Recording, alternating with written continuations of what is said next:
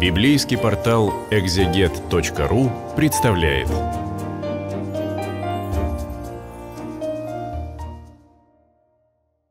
Здравствуйте, это видео для библейского портала exeget.ru и продолжая разговор о книге Исхода, мы обратимся к 14 главе. Здесь мы находим с вами рассказ об э, драматичнейшем, поворотном событии во всей истории народа Божьего, которое, как и сам факт исхода из Египта, задает рамки того, э, что такое народ Божий, что такое люди, которых Бог спасает. И речь здесь идет о том, что э, Бог ведет довольно, народ Божий довольно извилистым и кружным путем, вовсе не напрямую в Палестину, и э, повелевает Моисею расположитесь э, станом у моря. И, э, и говорит о том, что ну, фараон, вот он, фараон, поэтому он пожалеет, что отпустил вас, захочет их вернуть, скажет, они заблудились в пустыне, пустыня заперла их и погонятся. Э, и я покажу славу мою на фараоне. Вот такие слова э, обращает Бог к Моисею. Для современного читателя здесь есть известные сложности, потому что э, получается, что Бог заманивает египтян в ловушку и смотрит да, на то, как их в этой ловушке погубить. А, но, скорее всего, это связано с тем, что современные люди, ну, хоть в первом приближении учатся смотреть с разных точек зрения.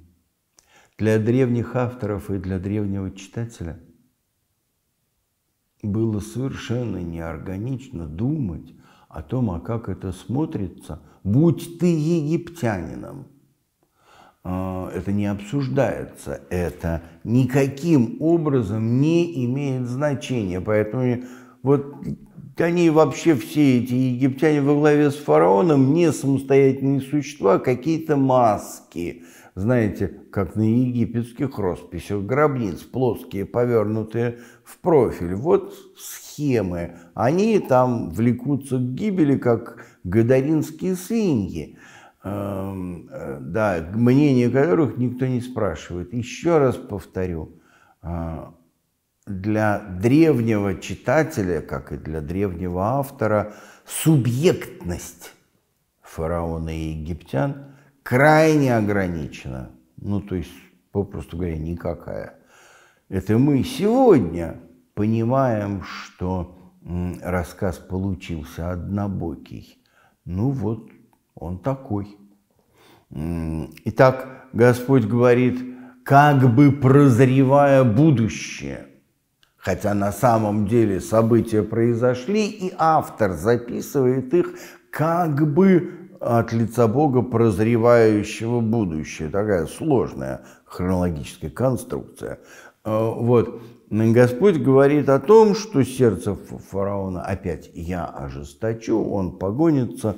И так и было э, в реальности. Сообщили царю, что народ бежал, то есть они же говорили на три дня пути. Ну вот они ушли, причем пошли боковыми дорогами, где-то у моря остановились, совершенно непонятно, куда это они в этой пустыне идут. Три дня прошли, а на работу никто не вышел. А, и обратилось сердце фараона против народа сего. И они сказали, фараон и рабы, а что это мы их отпустили-то? Зачем? Чтобы они нам не работали? Ну-ка верни их всех. Вот жалость да, ну, то есть, на самом деле, не жалость, это другое совершенно, а, сожаление об упущенной выгоде обуяло фараона и египтян, и он гонится за израильтянами, чтобы их настичь. В истории Израиля потом возникла подобная ситуация, по меньшей мере один раз. Она описана в книге Иеремии. Понимаете, и это, в общем, один из образцовых, эталонных примеров того, что такое подлость и низость, и мелочность. Ну, уже отпустил, уже все. Нет. Э, уже отдал что-то. Ну, представляете, вы подарили человеку на день рождения, не знаю, что там можно ценное, книжку. Э, да, в мое время всегда книжки дарили. А, а потом говорите, я передумал, отдай мне ее. Она мне нужна самому. Ну, кто ты после этого? Так э, образцовая низость совершается фараоном и египтянами. Э, самое печальное в этом рассказе, что он не кажется нереалистичным. Мы понимаем, что люди так поступают сплошь и рядом. И, и дальше автор называет это словами «ожесточил Господь сердце фараона». Ну вот и это тоже еще Богу приписывать. Фараон сам хорош. Э, на самом деле там никакого специального ожесточающего действия от Бога не требовалось. И вот фараон с колесницами гонится за израильтянами. Э, ну и, конечно, они же идут с э, детьми, с женщинами, их много, нужна дорога широкая, в общем, все трудно, неровности какие-то, еще препятствия. Не может быстро двигаться такое количество людей. Подобного рода Э, многочисленные группы всегда движутся со скоростью самого медленного.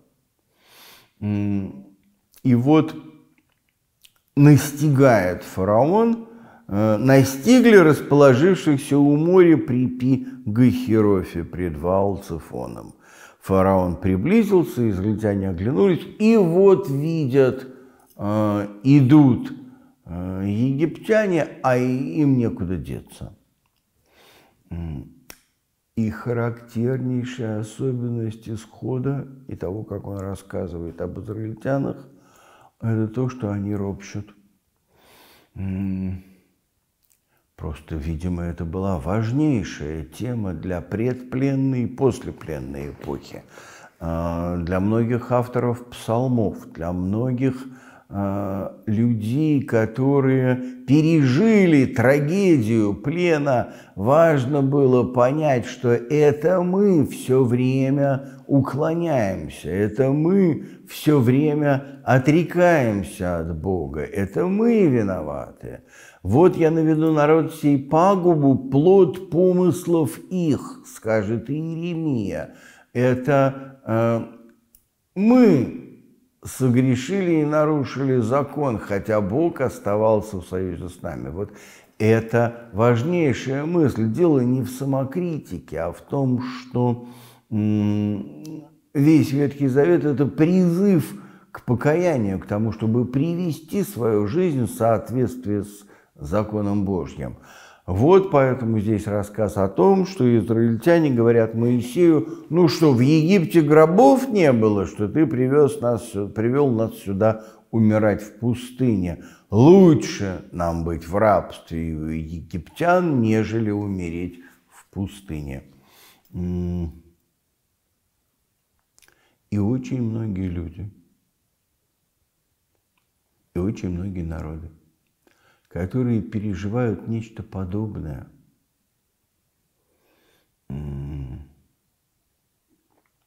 проходят через эту стадию, иногда и застревают в ней. И потом десятилетиями будут говорить, что вот там в Египте была колбаса по 2,20. И что-то там еще было, детские садики бесплатные. Вот. бесплатная каторга в ГУЛАГе тоже была.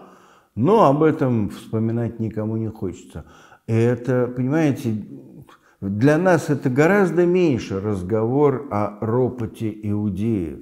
Это гораздо больше разговор о том, что мы абсолютно то же самое делаем. Точно так же, ну не промениваем, но хотим, готовы променять свободу, которая нам кажется абсолютно неценной, абсолютно неценной, на э, ну, то, что теперь стыдливо называют стабильностью, а авторы исхода честно называют рабством. Очень, на самом деле, нравственно такой обоюдоострый текст. А, но автора, конечно, интересует в первую очередь не это, а то, что Господь обращается к Моисею и говорит, простри руку твою на море. Там сзади египтяне, колесницы, э, пыль столбом от мчащихся колесниц. Там можете себе представить фараона в своей дурацкой фараоньей шапке нелепой, э, значит, там с копьем, множество народу, узкая полоска берега и море. И очевидно, что вот через какое-то время эти египтяне настигнут, либо перебьют, либо опять отправят в рабство. Господь говорит, простри руку твою на море и раздели его. Речь идет э, вот о том, что э, ангел Божий, шедший днем в, об, в облачном столпе, ночью в огненном, снялся с места, двинулся к берегу, народ Божий за ним. Моисей простер жезл и гнал Господь воду сильным восточным ветром всю ночь. Ну, то есть там это не прям как в кино, десятки, 10 минут все сцена занимает. Нет, это долго, сутки. А, сильный восточный ветер всю ночь и в этом месте расступилась вода. Тоже, как обычно, разнообразные исследователи говорят о том, что ну так бывает, э, в том числе и в тех местах, в прибрежных дюнах, когда ветры, дующие в нужное время в нужном месте, обнажают дно, и по нему можно с трудом пройти пешком, и невозможно проехать на колеснице. Ну, вероятно, да, это действительно так. Вот в нужное время, в нужном месте, в самом буквальном смысле. Вода расступается, израильтяне проходят, а египтяне увязли э, в мокром песке, в илу э, колеса. Господь отнял колеса у колесниц их. Ну, то есть не то, чтобы Бог незримой дланью снял с осей все колеса колесниц. Нет, вот это поэтичное выражение «Господь отнял у них колеса», а на самом деле они просто увязли. А, и Господь говорит Моисею, простри руку твою на море снова, и да обратятся воды на египтян. Ветер заканчивается, отступившая разогнанная вода, как в отлив, быстро возвращается, и погибли египтяне и фараон. Ну, мне не раз приходилось сталкиваться с тем, что современный читатель говорит «Ай-яй-яй, бедные лошадки». Ну ладно, там фараон все-таки очень несимпатичный, поэтому его мало кто жалеет. И египтяне, ну, их жалеют чаще, конечно, в этой ситуации.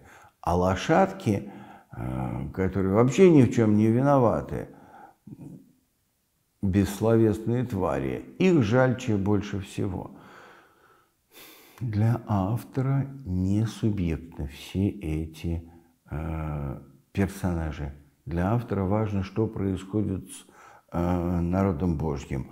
А для него таким образом картина такая. Бог разогнал воду, люди народ Божий прошли э, неминуемая смерть, которая в данном случае э, называется фараоном, там за ними гонится, увязла, вода вернулась. Нету этой неминуемой смерти. Все. Наступает э, безопасность, пусть временная и относительная в нашем мире, не бывает э, вечной и абсолютного ничего, кроме милости Божьей. Но тем не менее, вот наступает безопасность. Гнавшаяся армия погибла, а здесь, на этом берегу, э, никакие такие опасности израильтян не подстерегают. «Избавил Господь в день тот египтян, э, простите, израильтян из рук египтян, и увидели израильтяне руку великую, которую явил Господь над египтянами». Здесь к общему рассказу об исходе, о том, что Бог пощадил первенцев, тех людей, которые приняли для себя слово Моисея и волю Божью как правду, кто собрался выходить.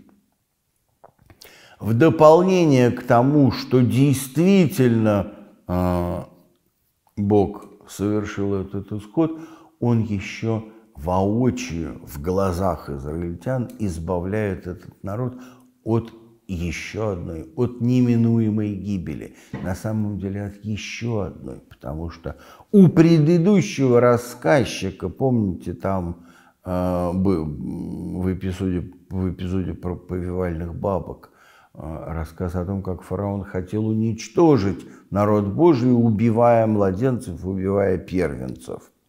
Для этого рассказчика, для автора этой части книги, вероятно, э, этот мотив э, не столь ясно звучит, поэтому э, вот в центре оказывается вот такая гибель от рук людей, абсолютно неминуемая, которую не избегнешь и от которой избавляет Бог. А, событие избавления становится теперь тем, что делает этот народ народом Божьим. Ровно так же в христианскую Пасху событие избавления, которое совершает Господь Иисус на кресте, становится тем, что делает нас людьми, принадлежащими Богу. Мы те, кого Бог избавил. Вот это, собственно, главная мысль, наверное, или одна из самых главных всей книги Исхода. Тот народ Божий, который читает это повествование, это тоже те, кого Бог избавил от неминуемой гибели рукою крепкую и мышцу простертую.